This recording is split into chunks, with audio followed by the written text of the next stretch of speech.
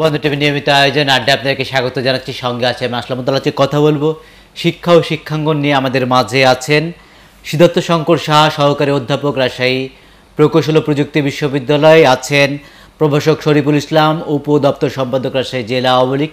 তাদেরকে স্বাগত জানাচ্ছি। বর্তমানে আমাদের সারা দেশে এইচএসসি পরীক্ষা চলছে, যে সংখ্যাটা ছিল প্রশ্নপত্র ফাঁসের যে ধারাবাহিক ঘটনাগুলো ঘটেছে, এর কোনো পুনরাবৃত্তি সময় দেখিনি। এর ভিতরেও কিছু প্রশ্নপত্র ফার্স্ট চক্রের সন্ধান পাওয়া গেছে, যারা গ্রেপ্তার হয়েছে, এই জায়গায় কিছু দলীয় ব্যক্তির নাম এসেছে এবং সব মিলিয়ে আসলে আমাদের যেভাবে করে জিপিএ বিপ্লবের ভিতরে আমাদের শিক্ষা ব্যবস্থা এগিয়ে যাচ্ছে প্রশ্নপত্র, ফাঁসের যে ঘটনাগুলো ঘটেছে, আমাদের অভিভাবক অভিভাবকবৃন্দ সেই প্রশ্নপত্র কেনার দৌড়ে নেমেছেন, এই ব্যবস্থার ভিতর দিয়ে আসলে আমাদের শিক্ষা ব্যবস্থার যে অবস্থাটা আছে, এই শিক্ষা ব্যবস্থা নিয়ে কতটুকু আশাবাদী হওয়া যায় সিদ্ধার্থ শকর শাহ ধন্যবাদ আসলামুদ্দোলা এবং একই সাথে ধন্যবাদ, বরেন্দ্র টিভির সমস্ত কলা কৌশলীদের আমাকে এখানে এসে দুটি কথা বলার সুযোগ করে দেওয়ার জন্য।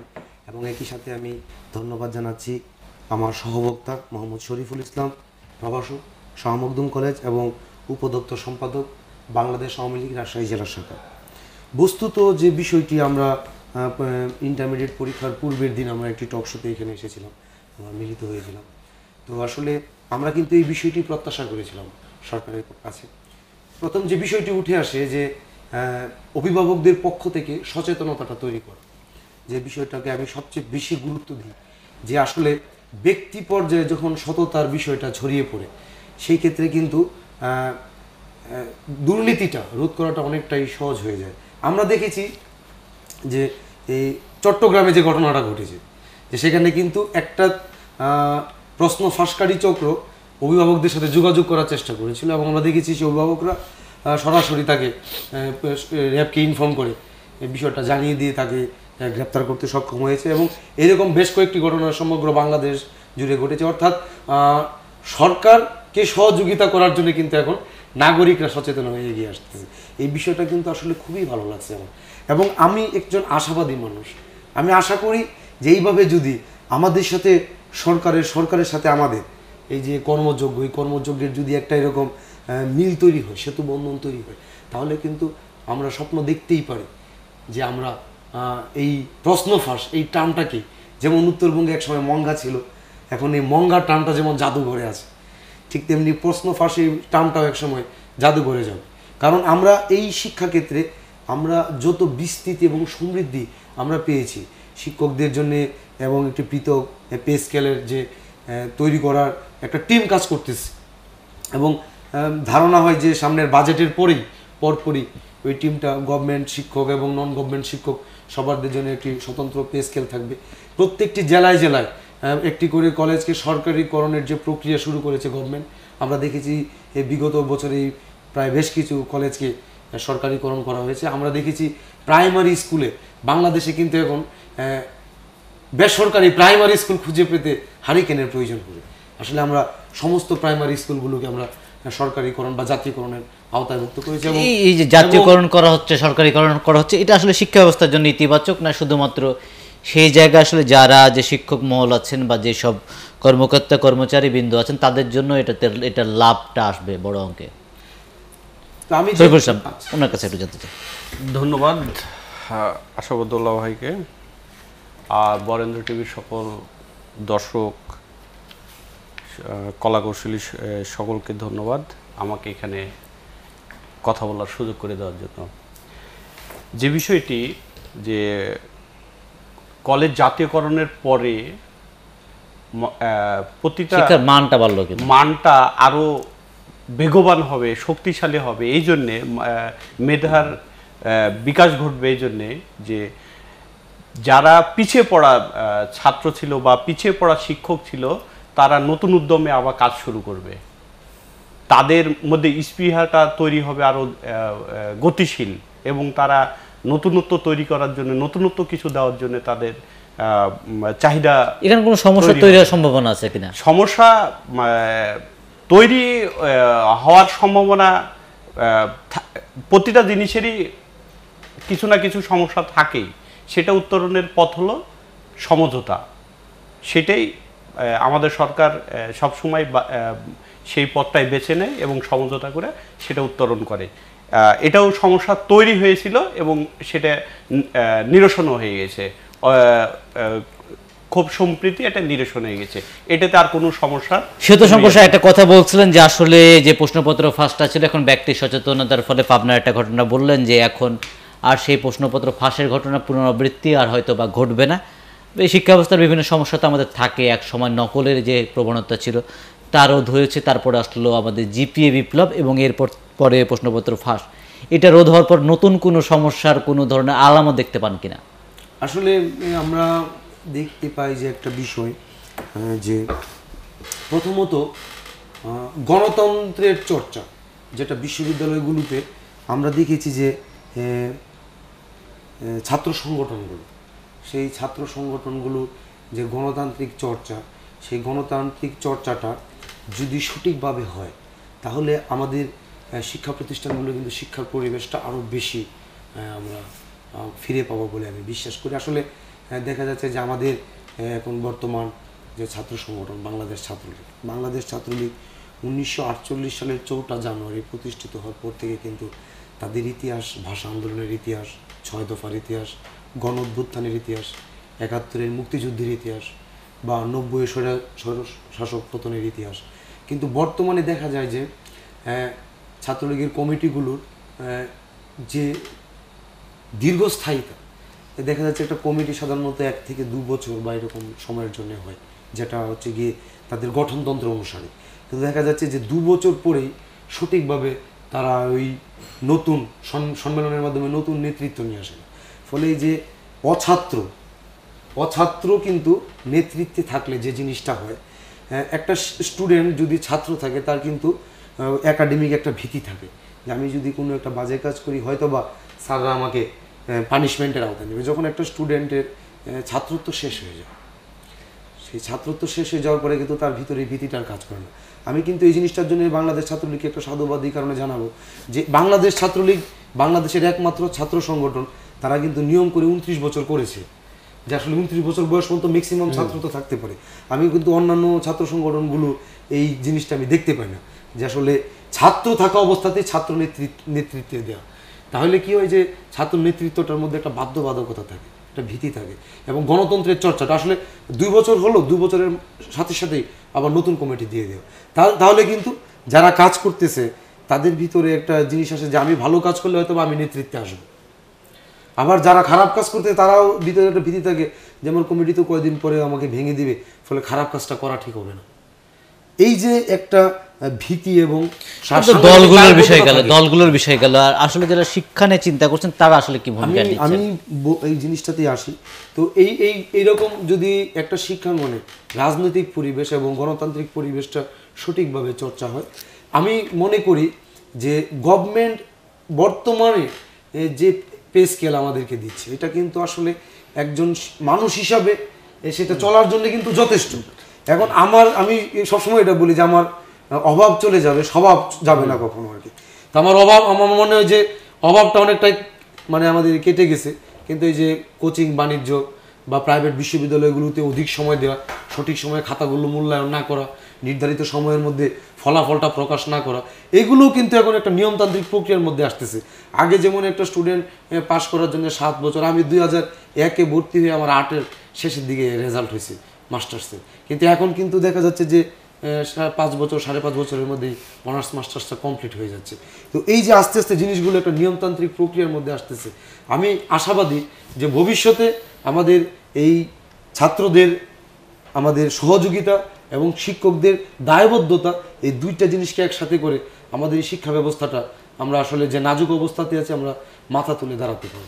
যে সমস্যাটার কথা বলেন যে আসলে গণতন্ত্রের যে চর্চা শিক্ষা প্রতিষ্ঠানগুলোতে দরকার সেই জায়গা নেয় বিশেষ করে ছাত্র সংসদ যখন নির্বাচনের ব্যবস্থা নেয়, সেই জায়গায় শিক্ষার্থীরা আসলে তাদের অধিকারটা খর্ব হলেও কিছু বলতে পারছে না। সেই জায়গায় শিক্ষক শ্রেণি তাদের সমিতি আছে, তারা বিভিন্ন দাবি দেওয়া তুলছে। এই যে শিক্ষার যে বিভিন্ন সংস্কারমূলক উদ্যোগগুলো নেওয়া হয় তা আসলে এই যে গণতান্ত্রিক অভাব, একটা ছাত্র সংগঠন নেই, শিক্ষার্থীরা কোন শিক্ষাটা তাদের মেধা বিকাশের জন্য কার্যকর মনে করছে? এই যখন অনুপস্থিত জায়গা থেকে আপনারা সিদ্ধান্ত নিচ্ছেন, তখন এই সিদ্ধান্তের ভিত্তিতে আসলে কতটুকু ভালোভাবে শিক্ষা ব্যবস্থাকে গঠনমূলক জায়গায় নিয়ে যাওয়া সম্ভব? আসলে আমাদের বাংলাদেশ আওয়ামী লীগ, তার ভাতৃপ্রীতম সংগঠন, বাংলাদেশ ছাত্রলীগ, তার প্রতিটি ইউনিটেই কমিটি আছে এবং তারা গঠনতান্ত্রিকভাবেই, গঠনতন্ত্রের নিয়মভাবেই কমিটি দিয়েছে। এবং সেই কমিটিগুলো বিভিন্ন ক্যাটাগরিতে আছে। যেমন জেলার অন্তর্ভুক্ত জেলার অন্তর্ভুক্ত উপজেলা, পৌরসভা, তারা। সেই কাজগুলো জেলার দায়িত্ব। এখন জেলা যদি সে কাজগুলো না করে, মহানগর, মহানগরের অন্তর্গত যেই ইউনিটগুলো আছে সেগুলোর দায়িত্ব মহানগরের। মহানগর যদি সঠিকভাবে সেটা না করে সেখানে কেন্দ্রীয় ছাত্রলীগকে দোষারোপ করে তো লাভ নাই। কেন্দ্রীয় ছাত্রলীগ দেখভাল করবে যে তারা মহানগর বা জেলা সেই কাজগুলো করছে কি না কিন্তু তারাও নীরব ভূমিকা পালন করে বা অনেক সময় বিভিন্ন ইউনিটগুলো যখন অকারণ মানে বিভিন্ন অপকর্মে লিপ্ত। হয় তখন মহানগর বা জেলার তাদের ঊর্ধ্বতন নেতৃবৃন্দ আপনি কি মনে করেন যে ছাত্র সংসদ নির্বাচন না থাকাতে যখন যে দল ক্ষমতায় থাকেন তার ছাত্র সংগঠন এক ধরনের বাজে ইমেজ তৈরি হয়। যেমন করে আমরা দেখলাম যে চট্টগ্রামে যে সাধারণ সম্পাদক রনি একটা বিশ্ববিদ্যালয়ে যে দাবিটা করছে এখনও সেই অর্থে বিভিন্ন ধরনের বিতর্কও আছে যে সেই জায়গায় যে যেই ভর্তি ফিটা ছিল তার অনেক বেশি হারে তারা আদায় করতো এবং এই জায়গা নিয়ে একটা দ্বন্দ্ব তৈরি হয়েছিল যে জায়গায় ছাত্র সংসদ থাকলে পরে তারা সঠিকভাবে দায়িত্বটা পালন করতে পারতেন। একটা কলেজের তিনি একটা মহানগরের দায়িত্ব পালন করেন। এই যে যে গণতান্ত্রিক পরিবেশটা নাই তার ফলে কি আপনার ছাত্র সংগঠন বিতর্কিত হচ্ছেন এবং এই বিতর্কিত জায়গা আসলে সাধারণ শিক্ষার্থীরা সেই ছাত্র সংগঠনের প্রতি কতটুকু আস্থা রাখতে পারবে? সংগঠনের ভালো কথা বলেছেন। আমি এই মহা- চট্টগ্রাম মহানগর ছাত্রলীগের সাধারণ সম্পাদক তার একটা প্রতিবাদ লিপি দেখলাম। তিনার কথা গুলো হলো যে আমার কাছে ছাত্ররা, অভিভাবকরা আসছে, আমি তার প্রতিবাদ করেছি। কেউ না কেউ অভিযোগ নিয়ে গেছে এবং তার সমাধানের জন্য। তার প্রতিবাদ করেছেন তিনি রনি শুধুমাত্র। ছাত্র সংসদ যদি থাকতো, ছাত্র সংসদের নেতৃবৃন্দ সেই প্রতিষ্ঠানের প্রতিবাদ করত। এখন যেসব বেসরকারি প্রতিষ্ঠান তৈরি হয়েছে বিশ্ববিদ্যালয় তৈরি হয়েছে সেখানে ছাত্র সংসদ নাই। সেখানে সরকারি প্রতিষ্ঠানগুলো তো নাই। সরকারি প্রতিষ্ঠান তো অনেক দিন থেকে দীর্ঘ নব্বই তিরানব্বই পর থেকে ছাত্র সংসদের আর কোনো নির্বাচন নাই। আমরা যদি একটা ভালো শিক্ষা ব্যবস্থার স্বপ্ন দেখি সেই জায়গায় তো এইটা একটা এলিমেন্ট এবং এটাকে অস্বীকার করারও কোনো উপায় নাই যে গণতান্ত্রিক যে ধারাটা আছে। কিন্তু এই ধারাটার বাইরে রেখে আপনার কতটুকু মানে শিক্ষা ব্যবস্থাকে ঢেলে সাজানো বা সুন্দরভাবে বিকশ- বিকশিত জায়গায় নিয়ে যাওয়ার স্বপ্ন দেখতে পারেন। আমি আসলে যে জিনিসটা বলি যে আসলে প্রত্যেকটা ইউনিভার্সিটি বা কলেজগুলোতে যে শিক্ষক সমিতি আছে শিক্ষক সমিতি কিন্তু শিক্ষকদের অধিকার রক্ষার জন্য বিভিন্নভাবে সোচ্চার থাকে। তারা elected মানুষ। ইলেকটেড মানুষ। এবং পূর্বে যে বিভিন্ন শিক্ষা প্রতিষ্ঠানগুলো ছিল সেখানেও কিন্তু ইলেকটেড ছাত্র প্রতিনিধি থাকতো। এবং আমরা জানি যে ছাত্র প্রতিনিধির বিপিজিএস তারা কিন্তু পদাধিকার বলে সিন্ডিকেট মেম্বার হতো এবং তারা বিশ্ববিদ্যালয়ের যে নীতিমালা প্রণয়ন সেখানে সেই সকল নীতিমালা প্রণয়নের ক্ষেত্রে ছাত্রদের সঠিক অধিকার সুরক্ষিত হচ্ছে কিনা ছাত্রদের চাহিদার মূল্যায়ন হচ্ছে কিনা সেই বিষয়গুলো কিন্তু ছাত্রদের পক্ষ থেকে তারা উপস্থাপন করতো। আমরা দেখেছি যে বিভিন্ন সময়ে বিশেষ করে একানব্বইয়ের পরে বিএনপি ক্ষমতায় আসার পরে একটা জিনিস হয়েছে যে বিভিন্ন বিশ্ববিদ্যালয়গুলোকে তারা যে আগে যে ভাইস চ্যান্সেলর নিয়োগ যেটাও কিনা নির্বাচনের মাধ্যমে হতো সেই এই প্রথম আমরা বাংলাদেশের বুকে এটা দেখেছি যে অগণতান্ত্রিক উপায়ে বিশ্ববিদ্যালয়ের ভিসি তারা নিয়োগ দিয়েছে বিভিন্ন উপায়ে, যেটা আসলে একটা জরুরি অবস্থাতে। মানে বিশ্ববিদ্যালয়ের গণতন্ত্রে কিন্তু বলা যায় যে একজন নির্বাচিত শিক্ষকদের প্রতিনিধি বা ভাইস চ্যান্সেলর ওই বিশ্ববিদ্যালয়টা চালাবে। যেটা প্রশাসনিক কাঠামো, সেটা দেখভাল করে এবং ওই নির্বাচিত বা প্রতিনিধি, ভাইস চ্যান্সেলর, যিনি কিনা প্রশাসনের সর্বোচ্চ দায়িত্ব পালন করবেন তিনি যদি কোনো কারণে ব্যর্থ হন তাহলে জরুরি অবস্থাতে সরকারের মনোনীত প্রতিনিধি বা রাষ্ট্রপতি কর্তৃক মনোনীত প্রতিনিধি ওই বিশ্ববিদ্যালয় মানে আমাদের উচ্চ শিক্ষা আজকে জরুরি অবস্থার ভিতরে চলছে। এখন দেখা যাচ্ছে যে এই যে একটা অবস্থা এই জরুরি অবস্থা শুরু হলো। আসলে বাংলাদেশের যে রাষ্ট্রীয় জরুরি অবস্থা ছয় সাল থেকে আট সাল পর্যন্ত ছিল। তো আমরা দেখি যে জরুরি অবস্থার ভিতরে সাধারণ মানুষের দুর্দশা। এখন আমরা দেখি যে এই যে উনিশশো তিরানব্বই সাল থেকে এই বিশ্ববিদ্যালয়ে যে জরুরি অবস্থা চলতেছে, এই জরুরি অবস্থা আসলে কবে শেষ হবে? কবে আমরা নির্বাচিত ভিসি পাবো? কবে আমরা নির্বাচিত ছাত্র সংসদ পাবো? এবং ছাত্রদের সঠিক প্রতিনিধি পাবো? এখানে কিন্তু একটা বড় বিষয়। যারা এখন বিভিন্ন রাজনৈতিক সংগঠনের ছাত্রদলের নেতৃবৃন্দ, তাদের ভিতরে কিন্তু এই দায়বদ্ধতাটা নেই। দায়বদ্ধতা কেন নেই? কারণ তাকে নির্বাচিত করতে হচ্ছে না। তার ভিতরে জনপ্রিয় ছাত্রনেতা হওয়ার কোনো তাগিদ নেই। কারণ সে জানে আমার তো ভোটের প্রয়োজন নেই। অমুক আমাকে ভালো বলল বা খারাপ বলল তাতে আমার কিচ্ছু আসে যায় না। কিন্তু যদি আসলে এইরকম হতো যে প্রতি বছর পর পর এক বছর পর পর এরকম ছাত্র সংসদ নির্বাচন বা দুই বছর পর পর তাহলে কিন্তু একটা একজন ছাত্র নেতা কোনো একজন সাধারণ ছাত্রের সাথে মিসবিহেভ করা বা কোনো কারণে তাদের সাথে মিসআন্ডারস্ট্যান্ডিং করা ক্লাসে গিয়ে তখন কিন্তু তার ভিতরে উপলব্ধিগুলো আসতো আমাকে কিন্তু ভোট দিবে না। তাহলে কিন্তু এই যে এই ছাত্র রাজনীতির যে আসলে অধপতন। এটা কি আসলে আমি ধরে নিব যে এখন হচ্ছে নাকি সে উনিশশো তিরানব্বই সাল থেকে যেখানে একটা কথা বলা হয়েছিল যে উনিশশো পঁচাত্তর সালে money doesn't matter I will make politics difficult for the politician অর্থাৎ টাকা কোনো বিষয় না। আমরা পলিটিক্সকে পলিটিশিয়ানদের জন্য কঠিন করে তুলব। সুপ্রসাদ একটা বিষয় আপনাকে জানতে চাইব যে জায়গায় আসলে আমরা হলো স্বৈরতন্ত্রের পতন ঘটে গণতন্ত্রের ধারা আনলাম এবং এই গণতন্ত্রের ধারার ভিতরে আসলে তরুণ প্রজন্ম যারা শিক্ষা ব্যবস্থার ভিতরে আছেন, তারা গণতান্ত্রিক ফ্লেভারটা পাচ্ছেন এই জায়গায় আসলে গণতন্ত্রের গণতন্ত্রকে কতটুক এই গণতন্ত্র নিয়ে এগিয়ে যাওয়া সম্ভব হবে? অবশ্যই এই গণতন্ত্রকে অনেক দূরে এগিয়ে নিয়ে যাওয়া সম্ভব পর, কারণ এখানে যারা এই গণতন্ত্রকে আগে নেবে, এই গণতন্ত্রকে নিয়ে যাওয়ার জন্য কাজ করছে, তারা অনেকটাই সফল। যেমন আমাদের সরকার সবসময় গণতান্ত্রিক পথেই চলছেন। এবং প্রতিটা প্রতিষ্ঠানেও গণতান্ত্রিকভাবেই ছাত্র সংগঠনগুলো চালানোর জন্য নির্দেশনা আছে। যদি কোনো ছাত্র না থাকে ছাত্রত্ব না থাকে, তার বয়স না থাকে, তাকে নেতৃত্ব দেওয়া যাবে না। যদি প্রমাণ স্বরূপকে উত্থাপন করে, তার নেতৃত্ব সেখানেই স্থগিত হয়ে যায়। তো আমাদের এই ছাত্র সংগঠনই বিভিন্ন প্রতিষ্ঠানে প্রকটভাবে সেই প্রতিষ্ঠানের সংসদগুলো গণতান্ত্রিকভাবে যেন চালু হয় সেগুলো দাবি করে আসছে। প্রগতিশীল কিছু ছাত্র সংগঠনও এই দাবি ঢাকা বিশ্ববিদ্যালয় থেকে উত্থাপন করছে এবং প্রতিটা প্রতিষ্ঠানেই চেষ্টা করছে। কিন্তু এখানে একটি মানে চক্র কাজ করছে যেটা এখনও প্রতিষ্ঠা প্রতিষ্ঠানে সংজ্ঞার কথা বলা হয় যে জায়গায় হ্যাঁ, রাজনৈতিক পরিবেশটা উত্তপ্ত হতে পারে। যে কোনো সময় বিভিন্ন গোলযোগ সৃষ্টি হতে পারে। এই ভয়েই বা এই একটা কারণেই এখানে দীর্ঘদিন ধরে সংখ্যার কথাটা বলা হচ্ছে। বিভিন্ন সময় ঢাকা বিশ্ববিদ্যালয়ের প্রথম যে মানে যে উপাচার্যগুলো হয়েছেন দুই তিন দফা এইরকম উদ্যোগ নিয়েছেন কিন্তু সেই উদ্যোগের আমরা বাস্তবায়ন দেখিনি। কিন্তু এর ভিতর থেকে একটা পজিটিভ দিক বলা যায় যে বিশেষ করে যারা শিশু আছেন এটা কতটুক মানে আমাদের ইতিবাচক ধারা নিয়ে নিয়ে আসবে। সে নিয়ে প্রশ্ন থাকলে একটা সূচনা হয়েছে যে জায়গায় আমাদের হাই স্কুল পর্যায়ে যারা শিক্ষার্থী আছেন, তাদের এক ধরনের ক্যাবিনেট নির্বাচনের ব্যবস্থা আছে। যখন এই ধারার ভিতর শিক্ষার্থীরা এগিয়ে আসছে, বেরিয়ে আসছে, তাদের উপযোগী করে আমাদের বিশ্ববিদ্যালয়গুলোতে বা উচ্চশিক্ষা প্রতিষ্ঠানগুলোতে মানে কি ধরনের ব্যবস্থা দেখতে পান? আসলে যে জিনিসটা বলি যে বিশ্ববিদ্যালয়গুলোতে কিন্তু একটু এরকম চর্চাটা আছে, এটা হচ্ছে গিয়ে যে ক্লাস ক্যাপ্টেন নির্বাচন।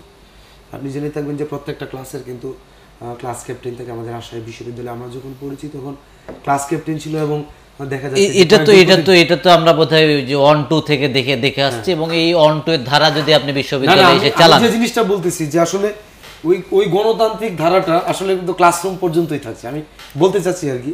কিন্তু এই ধারাটাই যে বিশেষ করে যে একটা স্টুডেন্ট হলের মধ্যে আছে সেই স্টুডেন্টটার খাবার ব্যবস্থা জীবনযাত্রার মান পড়ার শিক্ষার মান, তারপরে তার ধর্মীয় যে সংস্কৃতিগুলো আছে সেগুলো চর্চা করার যথেষ্ট স্থান আছে কিনা সেই প্রতিষ্ঠানগুলো।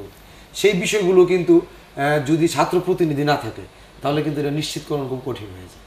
যেমন আপনি, আমার রুয়েটেরই আমি একটা দুরবস্থার কথা বলি, যে আমাদের রুয়েটে প্রত্যেকটা হলে একটা করে মসজিদ আছে। প্রত্যেকটা একটা সেন্ট্রাল মসজিদ আছে। প্রশাসনে প্রশাসন ভবনের ভিতরেও একটা বড় মসজিদ আছে। কিন্তু কোনো অসঙ্গত কারণে, আমি জানি না কেন, আমরা আমি বারবার দাবি জানিয়ে আসছি এবং এই প্রক্রিয়াটা থেমে যাচ্ছে। এবং গত কয়দিন আগে আপনারা দেখেছেন যে রুয়েটের আমরা দাবি জানানোর প্রকৃতি আমরা বলছিলাম যে, আপনি আমাদেরকে দু হাজার স্কোয়ার ফিট ভূমি দেন। আপনাকে মন্দির তৈরি করার টাকা দিতে হবে না। যেহেতু রুয়েটে সাড়ে তিন হাজার স্টুডেন্টদের মধ্যে প্রায় আটশো স্টুডেন্টের উপরে আমাদের হিন্দু ধর্ম অবলম্বী বিভিন্ন ধর্মের স্টুডেন্ট আছে, বৌদ্ধ ধর্ম, খ্রিস্টান ধর্মের। তো এখানে দেখা যাচ্ছে যে আমাদেরকে মন্দিরের জায়গাটা দেওয়া হয়নি এবং জিয়া হলে একটা কক্ষ আমাদের বরাদ্দ দেওয়া হয়েছিল। একটু বড় কক্ষটা মোটামুটি প্রার্থনা কক্ষ হিসাবে আমরা ওটা চোদ্দ সাল থেকে ইউজ করে আসতেছি। কিন্তু রিসেন্টলি আমরা দেখলাম যে এই কক্ষের মধ্যে ঢুকে ধর্মীয় কার্যে ব্যবহৃত বেশ কিছু সরঞ্জাম আদি এখান থেকে চুরি হয়েছে। টেবিল সিলিং ফ্যানগুলো ছিল, সেগুলো চুরি হয়ে গেছে, যেটা আসলে অত্যন্ত দুঃখজনক। যে এই যে আমরা একমুখী না থেকে প্রত্যেকটা প্রতিষ্ঠানে প্রত্যেকটা প্রতিষ্ঠানে কিন্তু শিক্ষার পাশাপাশি আমাকে কিন্তু আবাসন ব্যবস্থা। তারপরে আমার পড়াশোনার যে লাইব্রেরি ওয়ার্ক, হলগুলোতে লাইব্রেরি ঠিক আছে কিনা, এবং এই লাইব্রেরি ওয়ার্কের পাশাপাশি আমাদের হলগুলোতে যে আমাদের উপ- উপাসনালয়, প্রত্যেক ধর্ম অবলম্বী এই মানুষরা বা স্টুডেন্টরা তাদের ধর্মীয় কার্যক্রমগুলো সঠিকভাবে পরিচালনা করতেছে কিনা। এই বিষয়গুলো কিন্তু আসলে সঠিক ছাত্র প্রতিনিধি না থাকলে কখনো হবে না। আর একটা বিষয় আমরা দেখলাম যে এই বর্তমান সময়ে যে জিপিএ ফাইভের যে বিপ্লবটা হচ্ছে, এই বিপ্লব মানে এই যে এত বেশি জিপিএ ফাইভ কিন্তু আমরা বিশ্ববিদ্যালয়গুলোতে আসন সংখ্যা আমরা পূরণ করতে পারছি না, যে সমস্যাটা আছে, আগে এই সমস্যাটা এই ধরনের ছিল না, সেই সমস্যা আজকে প্রকট আকার ধারণ করেছে। এর থেকে উত্তরণের পথটা আসলে কি?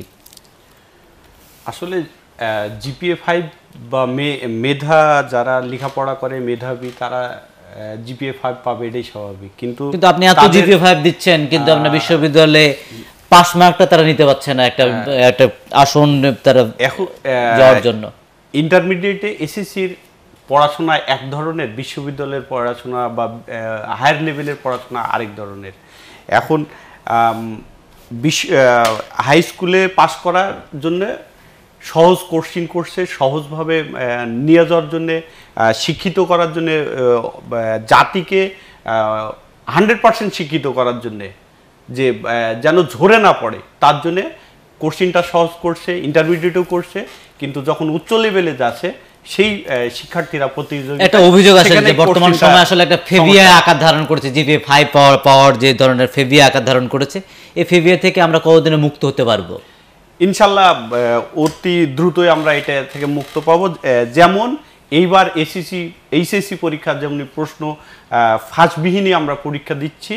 এই যখন এই পরীক্ষাটা আমরা সুষ্ঠুভাবে নিতে পারছি ঠিক জিপিও ফাইভটাও সেই তুলনামূলক হারেও সেই অনুরূপভাবেই রেজাল্ট হবে এবং সেই মেধারই স্বাক্ষর রাখবে ভবিষ্যতে।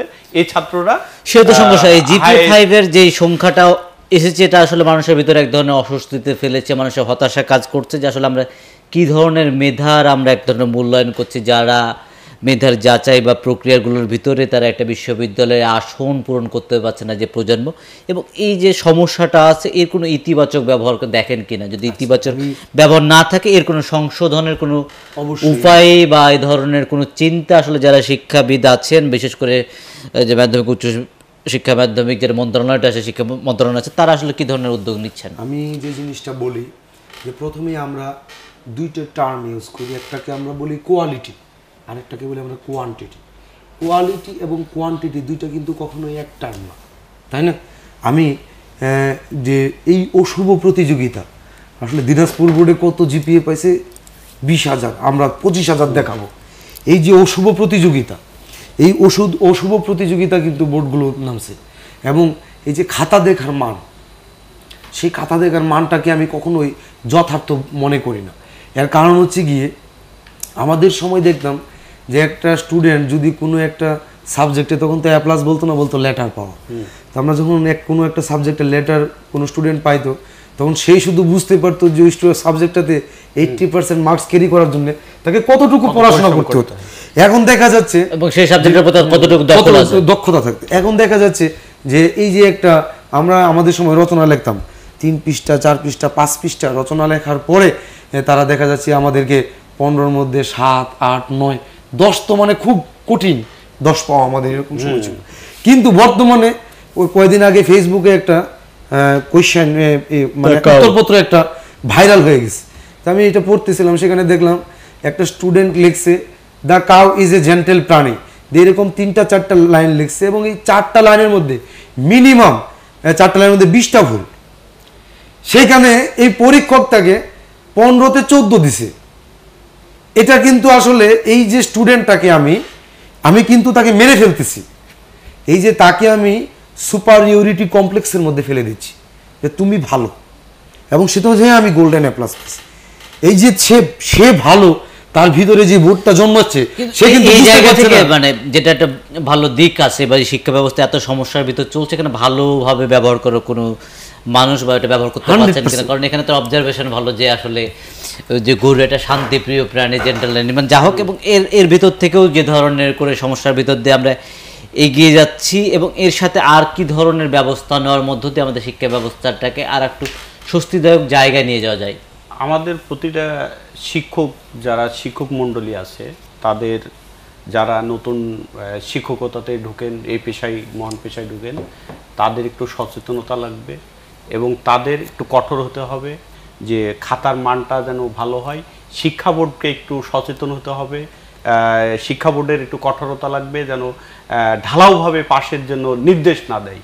শিক্ষা বোর্ড যেমন রাজশাহী ঢাকা শিক্ষা বোর্ড জিপিএ ফাইভ এত পেয়েছে রাজশাহী শিক্ষা বোর্ডকেও পাশের হার জিপিএ ফাইভ বাড়াতে হবে। এই অশুভ প্রতিযোগিতা। বা এই নির্দেশনা এই ধরনের ইয়ে থেকে সকল শিক্ষা বোর্ডকে আন্ত মন্ত্রণালয় যে বোর্ডটা আছে তাদেরকে বসে সিদ্ধান্ত নিতে হবে যে আমরা যেন এইরকম কোনো আত্মঘাতী সিদ্ধান্তে না দেয়। আমাদের শিক্ষা ব্যবস্থা বিভিন্ন ধারা আছে এর ভিতরে যেটা মানে ন্যূনতম ধারা পাওয়া যায় যে আমাদের প্রাইমারি শিক্ষা ব্যবস্থা একটা আছে মাধ্যমিক আছে উচ্চ মাধ্যমিক আছে উচ্চ শিক্ষার ব্যবস্থা আছে। এই জায়গায় সমস্যাটা কোন পর্যায়ে খুব বেশি দেখতে পাচ্ছেন? আমি মনে এটা সবচেয়ে বেশি হলো এসএসসি আর কলেজ কলেজ ইন্টারমিডিয়েট এই দুই জায়গাতে। এই দুই জায়গায় যদি শক্তভাবে আহ, আমার প্রাইমারি জেএসসি এগুলাতে ছাত্রদেরকে উৎসাহ দেওয়ার জন্য তুলে আনার জন্য যথেষ্ট কিন্তু এসএসসি একটা গুরুত্বপূর্ণ বলা যায় মানে মানে যে যে ধাপ মধ্য। দিয়ে তার পরবর্তী জায়গা নির্ধারণ হবে এই যে হ্যাঁ, তিন চার এই বছরের যে শিক্ষা ব্যবস্থাটা আছে এই সময়ে যে সমস্যাটা আছে এই সমস্যাটা আদৌ আপনারা ফিল করতে পাচ্ছেন কিনা এবং সমাধানের দিকে যাওয়ার কোনো ধরনের এলিমেন্ট দেখতে পাওয়া আমরা তো প্রতিনিয়তই আমরা যখন কলেজের শিক্ষকদের সাথে মত বিনিময় করি এবং কথা বলে, আমরা কিন্তু প্রতিনিয়ত এই বিষয়গুলো তাদেরকে বুঝিয়ে বলার চেষ্টা করি এবং আমি কয়েকটা কলেজ নিয়োগ বোর্ডে ছিলাম, দুটা নিয়োগ বোর্ডে ছিলাম আমি। তো নিয়োগ বোর্ডে থাকার পরে আমরা এই বিষয়গুলো কিন্তু আসলে তুলে ধরার চেষ্টা করি। বিষয়টা হচ্ছে যে, একটা স্টুডেন্ট তাকে আমি পাশ করিয়ে দিলাম, সেটা একটা বিষয়। কিন্তু একটা স্টুডেন্ট তাকে আমি এ প্লাস দিচ্ছি গোল্ডেন এ প্লাস দিচ্ছি। সেই গোল্ডেন এ প্লাসটা বহন করার মতো কেলিভার তার ভিতরে আছে কিনা, এই বিষয়টা কিন্তু মাথায় রেখে খাতা দেখতে হবে। এবং শিক্ষকতার মতো এই মহান পেশাতে থেকে আমি যদি খাতাটা সঠিকভাবে মূল্যায়ন না করি, কি ইউনিভার্সিটি লেভেলে কিন্তু এই বিষয়টা আছে যে একটা টিচার একটা খাতার দেখার পরে একটা সেকেন্ড এক্সামিন হয় এবং স্ক্রুটিনি হয়। তো ইন্টারমিডিয়েট লেভেলে বা এসএসসি লেভেলে হয়তো বা সেকেন্ড এক্সামিন করাটা খুব কঠিন, কিন্তু সেকেন্ড এক্সামিন করতে পারলে মনে হয় সবচেয়ে ভালো। কারণ একজন টিচার খাতাটা দেখার পরে সে দ্রুত খাতাটা দেখছে কিনা বা অবমূল্যায়ন করছে কিনা। সেটা কিন্তু অনেক সময় স্টুডেন্টদের ক্ষেত্রেও ক্ষতিকারক হতে পারে। একজন স্টুডেন্ট অনেক ভালো লাগল আপনি অ্যাভারেজলি একটা মার্কস সেখানে বসিয়ে চলে গেল। সবসময় যেটা ছাত্রদের ভালোই করে তা কিন্তু না। যে খারাপ, তাকে বেশি দিলে তার ভালো লাগবে। কিন্তু যে আসলে সত্যিকারের ভালো আমি অ্যাভারেজলি সবাইকে পাস দিয়ে চলে যাচ্ছি। আসলে তো এই লেখাটার মধ্যে আট পাওয়ার তার যোগ্যতা ছিল। তো এই জন্যে আমরা মনে করি যে ইউনিভার্সিটিতে যেরকম একটা স্টুডেন্টের খাতা মিনিমাম দুইজন শিক্ষক দেখবে এবং খাতাটা একবার স্ক্রুটিনি হয় যে আসলে মান না মার্কিংটা ঠিকভাবে হয়েছে কিনা। তো এই রকম করে যদি এসএসসি এবং ইন্টারমিডিয়েটের খাতাটাকে বিশেষ করে স্ক্রুটিনিটা না করতে পারলেও অন্তত ফার্স্ট এক্সামিন এবং সেকেন্ড এক্সামিন এটা যদি করানো যেত তাহলে মনে হয় এই যে শিক্ষকরা কিন্তু এই যে আমি নাম্বার বেশি দিছি, অন্য শিক্ষক এটা দেখলে কি মনে করবে?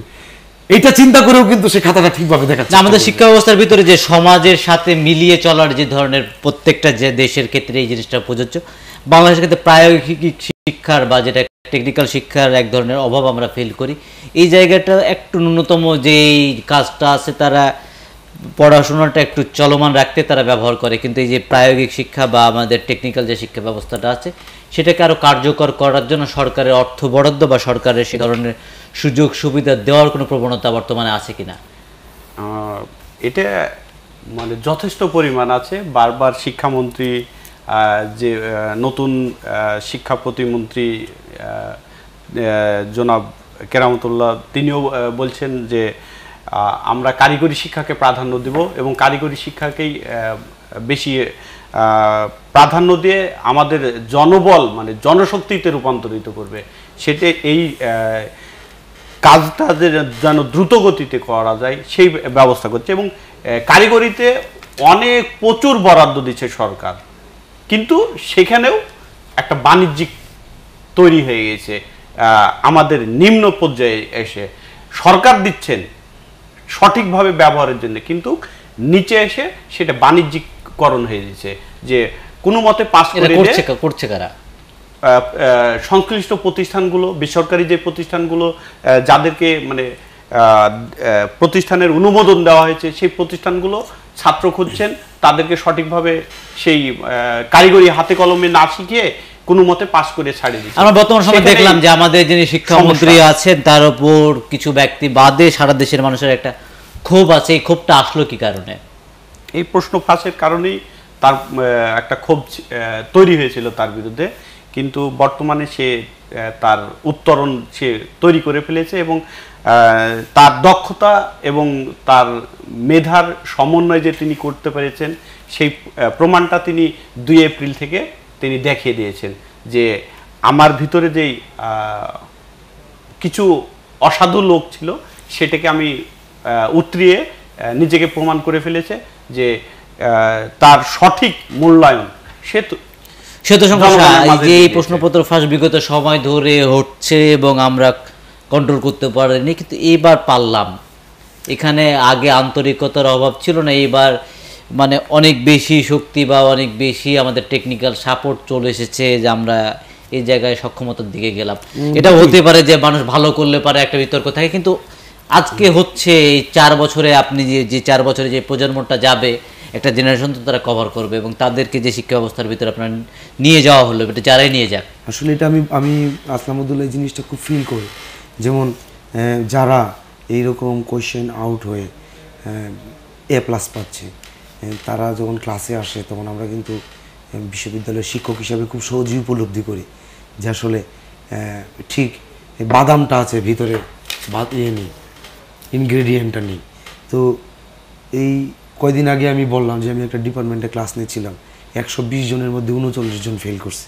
তো এটা খুব হতাশাজনক এবং তারা ক্লাস নেওয়ার সময় এমনভাবে তাকিয়ে থাকে যে আসলে আমি কি বলতেছি। তো আমরা বুঝতে পারি যে তার নিচের বেসটা কত নরবরে হয়ে গেছে এবং এই বেসটা কিন্তু দীর্ঘ চার বছর তারা এই স্তরটা তো উঠে আসবে, এই স্তরটা তো ফিনিশ করে দেওয়া যাবে না। এই স্তরটা পাশ করবে এই স্তরটা ইঞ্জিনিয়ার হবে এই স্তরটা দেশকে নেতৃত্ব দিবে। এই চারটা বছর পরে এই স্তরটা গিয়ে শেষ হবে। এই স্তরটা চলতেই থাকবে একটা সময় ধরে। এইটা কিন্তু আসলে সমাজের জন্য একটা বিস্ফোরা বলা চলে। এবং আমি মনে করি যে আপনি একটি কথা বললেন যে দুইটা পক্ষেরই উদাসীনতা ছিল। একটা হচ্ছে আইন শৃঙ্খলা প্রয়োগকারী বাহিনী যারা আসলে অনেকটা কঠোর হলে হয়তো এই বিষয়টা যেমন এই বছরটাতে তারা যেরকম আহ, আইন শৃঙ্খলা প্রয়োগ করতে শিক্ষা ব্যবস্থার সাথে যারা জড়িত আছেন তারা তো প্রভাবশালী ব্যক্তি। আমি আমি আর এই যে জিনিসটা বলি যে শিক্ষার ক্ষেত্রে তারা আন্তরিক বা তারা আহ্বান না জানালে তো ওই জায়গায় খুব বেশি মানে কাউকে আইডেন্টিফাই না না করে আমি আমি একটা জিনিস বলি এটা কিন্তু দায়বদ্ধতার জায়গা আমি গতদিনও বলেছিলাম যে দায়বদ্ধতার জায়গাটা কিন্তু দুইটাই। আমি জানি না দর্শক আমার কথা শুনে এই কাজ করেছে কিনা কিন্তু আমি দেখছি যে যা এইবার কিন্তু পরীক্ষার মধ্যে অভিভাবকদের যে দায়বদ্ধতার জায়গাটা তারা কিন্তু সেটাকে ফিল আপ করতেছে। এবং কেউ প্রশ্ন ফাঁসকারী চক্র যখনই তাদেরকে কল দিচ্ছে সাথে সাথে তারা পুলিশকে ইনফর্ম করতেছে। এটা কিন্তু একটা বিশাল বিষয়। শহীদুল ইসলাম আরেকটা বিষয় আমাদের সরকারি যে শিক্ষা ব্যবস্থাগুলো না আছে এর পাশাপাশি বেসরকারি অনেক শিক্ষা প্রতিষ্ঠান গড়ে উঠেছে যারা অনেক কোয়ালিটি সম্পন্ন শিক্ষার্থী আমাদেরকে উপহার দিচ্ছেন এবং তারা ভালো করছেন। এর পাশাপাশি বিভিন্ন ধরনের নামকে অস্তে প্রতিষ্ঠানের নাম শুনছি। এই যে বেসরকারি শিক্ষা ব্যবস্থাটা গড়ে উঠল আমাদের শিক্ষা ব্যবস্থার এই জায়গায় সফলতার যদি বিচার করেন তাদের সক্ষমতার জায়গায় সরকারি প্রতিষ্ঠানের পাশাপাশি তাদের অবদানটাকে কেমনভাবে দেখবেন? অবশ্যই যেসব প্রতিষ্ঠান, বেসরকারি প্রতিষ্ঠানগুলো ভালো করছে, তাদেরকে মূল্যায়ন তো করতেই হবে, এর কোনো বিকল্প নেই। কিন্তু যেসব প্রতিষ্ঠানগুলো করছে না, সেসব প্রতিষ্ঠানগুলোকে আইডেন্টিফাই করতে হবে এবং তাদের বিরুদ্ধে ব্যবস্থা নিতে হবে। দ্রুততম সময়ে। সেটা অবহেলা করা যাবে না এবং তাদেরকে সময় দেওয়া যাবে না। দ্রুততম সময়ে ব্যবস্থা নিলে এই থেকে উত্তরণ সম্ভব। আমাদের কার্যকারিতা করতে তাদের বিরুদ্ধে ব্যবস্থা নিতে অনেক দীর্ঘ সময় লেগে যায়। তাতেই তারা আমাদের শিক্ষা ব্যবস্থা আরেকটা বিষয় আপনার সামনে আলোকপাত করি যে আমাদের শিক্ষা ব্যবস্থাকে মানে সঠিকভাবে নিয়ে চলার জন্য বা চলার জন্য যে সমস্যাগুলো ছিল সেই সমস্যাগুলোর আইডেন্টিফাই বিভিন্ন শিক্ষা নীতিমালা প্রয়োগ করে এখন পর্যন্ত যতগুলো শিক্ষা নীতিমালা আছে তা কোনোটাই বাস্তবায়ন করা যায়নি। আপনি অন থার্ডও বাস্তবায়ন করতে পারেন না কারণটা কি? ওয়ান থার্ড এই জিনিসটা না পড়ার কারণ হলো কিছু অসাধু চক্র আছে।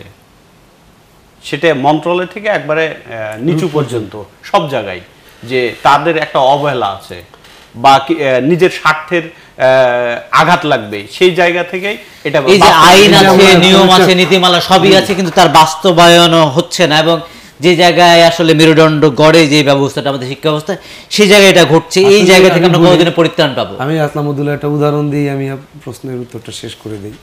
সেটা হচ্ছে কি আসলে এই যে শিক্ষানীতিমালা, এই শিক্ষানীতিমালাটা হচ্ছে এরকম যে যে প্রতিষ্ঠান ইচ্ছা খুশি মতো সে তারা নীতিমালা তৈরি করে সিন্ডিকেটের মাধ্যমে। আমি রুয়েটে চাকরি করি। রুয়েটে যারা আমরা নন টেকনিক্যাল টিচার আছি, অর্থাৎ যারা আমরা ফিজিক্স কেমিস্ট্রি ম্যাথ বাইরে থেকে পড়াশোনা করে আসছি, আমরা কিন্তু অনার্স মাস্টার্স পাস করে রুয়েটে যোগদান করছি শিক্ষক হিসেবে। আর রুয়েটের যারা ইঞ্জিনিয়ার টিচার আছে তাদের কিন্তু ফোর্থ ইয়ার পর্যন্ত এডুকেশন আছে। এখন দেখা যাচ্ছে আমরা যোগদান করার পরে আমাদের একটা ডিগ্রি বেশি থাকার কারণে আমরা তো সভাপতি তাদের সিনিয়র হয়ে যাব। তো তারা দেখা গেল যে সিন্ডিকেট করে তারা তাদের টেকনিক্যাল ডিগ্রিটাকে আমাদের উপরে তুলে দিচ্ছে। আমাদের মাস্টার্স পাসটাকে তারা অফ করে দিচ্ছে। এখন তাদের যেহেতু অনার্স পাস তারা তিন বছরে অ্যাসিস্ট্যান্ট প্রফেসর হবে। কিন্তু আমাদের মাস্টার্স আছে, আমরা তো দুই বছরে হব। কিন্তু আমরা তাদের আগে সিনিয়র হয়ে যাব। তারাও কিন্তু আমাদেরকেও তিন বছরে নিয়ে আসতেছে। যেন আমরা যেন তাদের সাথে এই যে, যেহেতু এখানে ইঞ্জিনিয়াররা শক্তিশালী। এখন দেখা যাচ্ছে আমি একই applied chemistry and chemical engineering department থেকে পাশ করে আমি যোগদান করছি রুয়েটে, আমার বন্ধু যোগদান করছে পাবনা বিশ্ববিদ্যালয়। আমার বন্ধু পাবনা বিশ্ববিদ্যালয়ে যোগদান করে সে তার ওই মাস্টার্সটা কাউন্ট হয়েছে, সে দুই বছরে অ্যাসিস্ট্যান্ট প্রফেসর হচ্ছে। আমি এখানে হচ্ছে তিন বছরে। এই যে এই বিষয়টা বহির্বিশ্ব আমাদেরকে কীভাবে দেবে? তাহলে আমরা কেমন শিক্ষা প্রতিষ্ঠানের ব্যক্তি? যেখানে একই সাবজেক্ট, একই রেজাল্ট, একই কোর্স ওয়ার্ক, একজন তিন বছর অ্যাসিস্ট্যান্ট প্রফেসর একজন দুই বছর অ্যাসিস্ট্যান্ট প্রফেসর এই যে বাংলাদেশ গভর্নমেন্ট যে বিশ্ববিদ্যালয়গুলোতে নিয়োগ সংক্রান্ত ইউজিসি একটা অভিন্ন নীতিমালা তারা প্রেরণ করে দিয়েছে। আমরা দেখছি যে এই স্বার্থের দ্বন্দ্বে জড়ানোর কারণে বিভিন্ন বিশ্ববিদ্যালয় কিন্তু সেই অভিন্ন নীতিমালাটাকেও আজকে রিজেক্ট করতেছে। আসলে যে বিষয়টা হচ্ছে যে আমরা যদি এই ব্যক্তি স্বার্থের ঊর্ধ্বে আসতে না পারি এবং আমরা যদি সঠিক মূল্যায়ন নিজেদেরকেই করতে না পারি, তাহলে কিন্তু আসলে গভর্নমেন্টে আমি এখন এই প্রতিষ্ঠান বন্ধ করে দিচ্ছি। আমি রাস্তায় দাঁড়িয়ে যাচ্ছি, আমি অনশন করতেছি, এই নীতিমালা আমি মানি না। অথচ একই কাজ, আমরা একই ডিগ্রি নিয়ে একজন দুই বছরে অ্যাসিস্ট্যান্ট প্রফেসর হচ্ছি, একজন তিন বছরে হচ্ছে, একজন সাড়ে তিন বছর। তো এই যে আমাদের বৈষম্য এগুলা যদি আমরা একটা নির্দিষ্ট নীতিমালার মধ্যে নিয়ে আসতে না একটা বিষয় বিষয় আপনার সামনে একটা আলোকপাত করে। সেই জায়গায় আমাদের তো যে শিক্ষা ব্যবস্থাটা যে মানে একটা পর্যায়ে যাওয়ার যে শিক্ষা ব্যবস্থা সেটা তো সমস্যা সবাই ফিল করছে। কিন্তু উচ্চ শিক্ষার ব্যাপারটা আমাদের ক্রমান্বয়ে অধপতনের দিকে যাওয়ার ব্যবস্থাটা দেখছি খুব বেশি মানে আশার দিক দেখা যায় না। এবং এই জায়গায় আমরা দেখি যে বিষয়ে বিভিন্ন রাজনৈতিক দলগুলো নিয়ে দ্বন্দ্বটা আমাদের চোখে সামনে আসে বিভিন্ন শিক্ষকরা আন্দোলন করেন তা চোখে আসে কিন্তু শিক্ষার মান বৃদ্ধি নিয়ে যে ধরনের দাবি দেওয়া সেই দাবিটা আসলে কারা করছেন? এবং যারা করতে চাচ্ছেন তাদেরকে করতে বাধা দেওয়া হচ্ছে কিনা? আচ্ছা আমি যে জিনিসটা বলি যে বহির্বিশ্বের সাথে আমাদের শিক্ষা ব্যবস্থার কিন্তু একটা সুস্পষ্ট পার্থক্য আছে। বহির্বিশ্বের যে শিক্ষা ব্যবস্থা তারা কিন্তু স্কুল লেভেল পর্যন্ত একটা ইয়ে থাকে। তারা কিন্তু যখন কলেজে ওঠে যেমন ইংল্যান্ড আমেরিকা ওরা কিন্তু যারা চাকরি করবে তারা কিন্তু স্কুল করার পরেই তারা জবে চলে যায়। আমাদের এখানে যেমন হান্ড্রেড পার্সেন্ট মানুষকে অনার্স পাস করতে হবে মাস্টার্স পাস করতে হবে বহির্বিশ্বে কিন্তু এই বাধ্যবাধকতাটুকু নেই। তারা টেকনিক্যাল সাইডে চলে যাবে নির্দিষ্ট সাইডে কাজ শিখে তারা সেখানে কাজ করবে। আর যারা গবেষক হবে এবং উচ্চ শিক্ষা নেবে তাদের কিন্তু স্পেসিফিক ফিল্ডে কাজ করতে হবে গবেষণা করতে হবে। আমরা যে আমাদের ইউনিভার্সিটির ডিগ্রিগুলো দিচ্ছি যেখানে কিনা আমরা বলতেছি অনার্স সেই অনার্সের ডিগ্রিগুলো আসলে অনার্সের ডিগ্রি হিসাবে বহির্বিশ্বে যে মানটা বহন করে আমাদের এই ডিগ্রিগুলো কিন্তু সেই মান বহন করে না।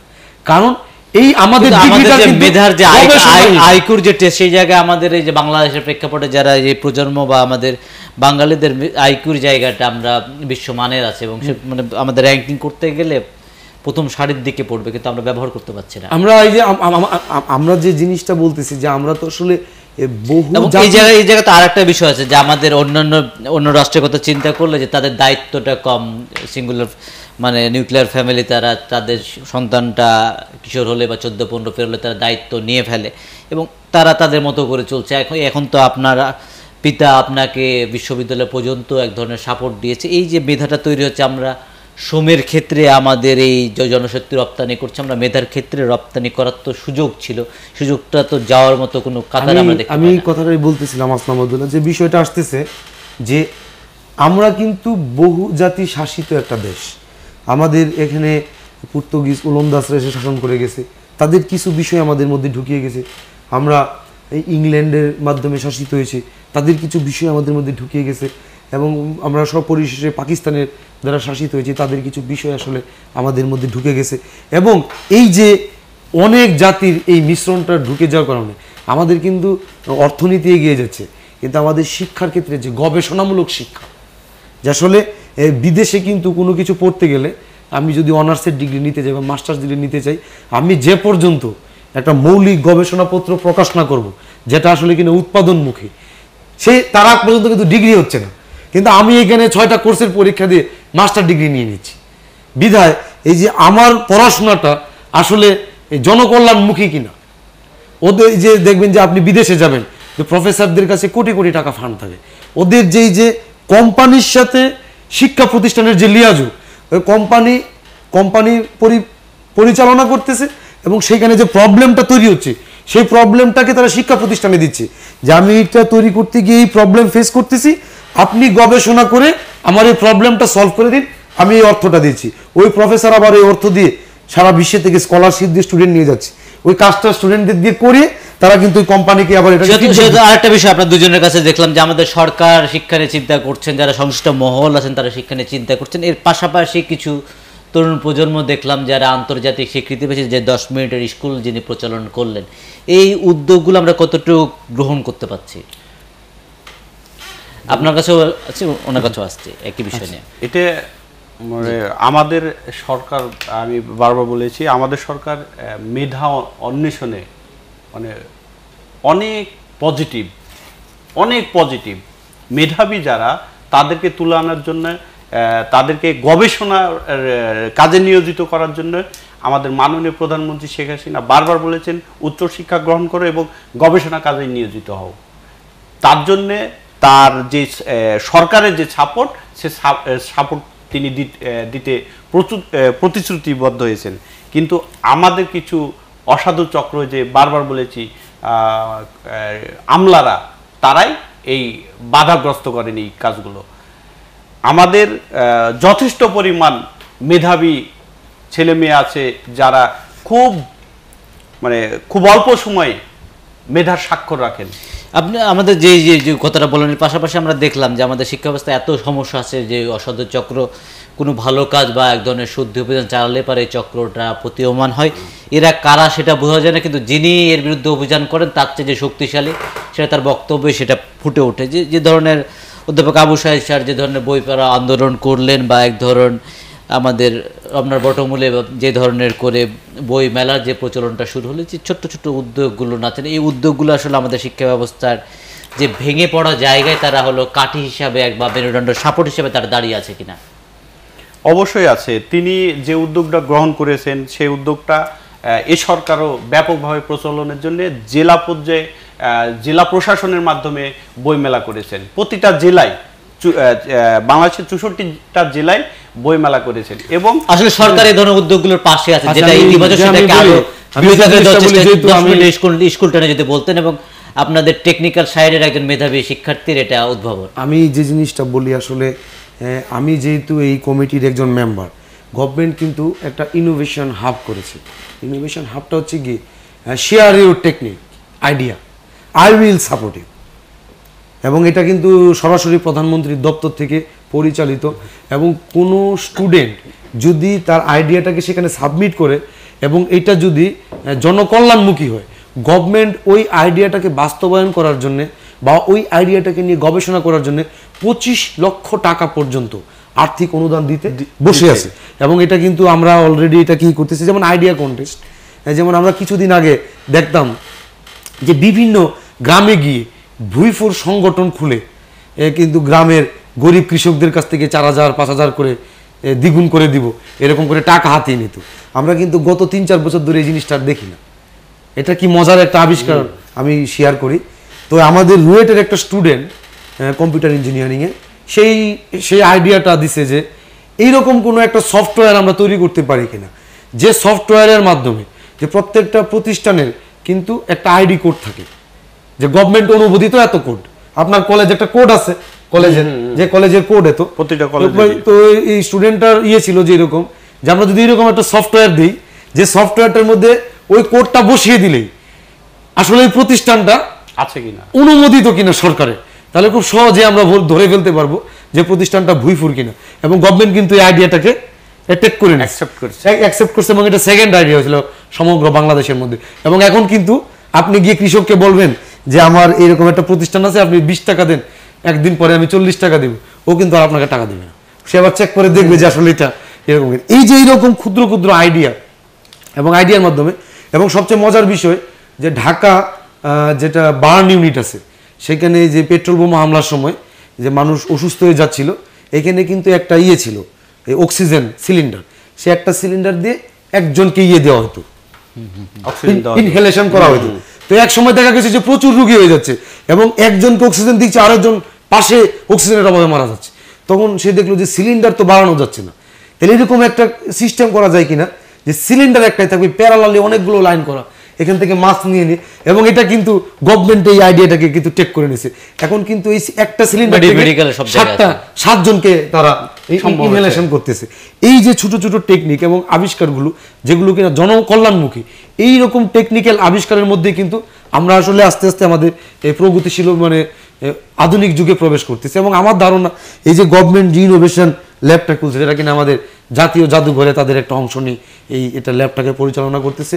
এই ল্যাবের বেশ কিছু সায়েন্টিস্ট গত মাসে আমাদের সাথে এসে মত বিনিময় করে গেছে। তো আমাদের ধারণা যে এইভাবে যদি গভর্নমেন্ট এই ক্ষুদ্র ক্ষুদ্র বিষয়গুলোকে সামনে নিয়ে আসে এবং যেটা কিনা আমরা বলতেছি যে পাঠ্যসূচির সাথে ব্যবহারিক যে বা প্রায়োগিক যে দিক আছে দুইটাকে যদি একসাথে করে আমরা আমাদের শিক্ষা ব্যবস্থাটাকে সামনে নিতে পারি আমার মনে হয় যে এই প্রবলেমগুলো আমরা খুব সহজে সহজে উত্তরণ করে ধন্যবাদ আমাদের সম্মানিত শিক্ষাঙ্গন এবং আমাদের শিক্ষা নিয়ে কথা বললেন যে সমস্যাগুলো আছে এবং সমস্যাগুলো কীভাবে তারা উতরিয়ে যাচ্ছে, যেমন আমাদের দুর্নীতির বিরুদ্ধে আমরা সবাই যেটা সমস্যা ফিল করি। আমাদের এগিয়ে যাওয়ার ক্ষেত্রে একটি শিক্ষার্থীর, মেধাবী শিক্ষার্থীর একটি উদ্যোগ, কেমন করে বিভিন্ন মানুষকে সহায় সম্বলহীন হয়ে যাওয়া থেকে রক্ষা করল এবং আমাদের চিকিৎসা ব্যবস্থার ভিতরে যে অকাল বা মানব, অমানবিক যে মৃত্যু, প্রতিটা মৃত্যু অমানবিক, তারপরে এই ধরনের চোখের সামনে মারা যাচ্ছে, তার মানে চিকিৎসা দিতে পারছি না, তার সেবাটা দিতে পারছি না। এই উদ্যোগগুলোর মধ্য দিয়ে আসলে আমাদের শিক্ষা ব্যবস্থার যে আলোকিত রূপ তা আমরা দেখতে পাচ্ছি এবং এই ধরনের যেই শিক্ষার যে গুণগত দিকটা আসলে আমাদেরকে আলোকিত করবে, সমাজটাকে আরেকটু বিকশিত করবে, তার প্রতি সরকার সহ সবারই এক ধরনের প্রণোদনার ব্যবস্থা আছে, তারা উৎসাহিত করছে। এইগুলোকে তারা গ্রহণ করার মাধ্য- মাধ্যমে আমাদের শিক্ষা ব্যবস্থা যে সমস্যার ভিতরে যে এগিয়ে যাচ্ছে, তা আমাদের একদিন সম্ভাবনার দ্বার প্রান্তে পৌঁছাবে এই প্রত্যাশা জানিয়ে আমাদের সম্মানিত সিদ্ধার্থ শঙ্কর শাহ সহকারী অধ্যাপক, রাজশাহী প্রকৌশল প্রযুক্তি বিশ্ববিদ্যালয় এবং প্রভাষক শরীফুল ইসলাম, উপদপ্তর সম্পাদক রাজশাহী জেলা আমরি তাদেরকে অসংখ্য ধন্যবাদ। তারা গুরুত্বপূর্ণ বিষয়ে আমাদের সাথে ছিলেন। সবাই ভালো থাকবেন, শুভরাত্রি।